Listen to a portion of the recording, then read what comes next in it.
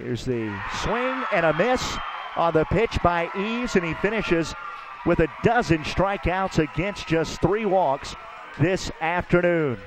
So your final score here is five to two.